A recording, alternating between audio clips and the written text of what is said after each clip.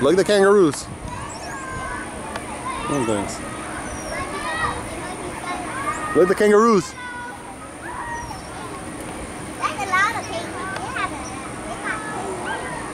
They're kangaroo-tastic.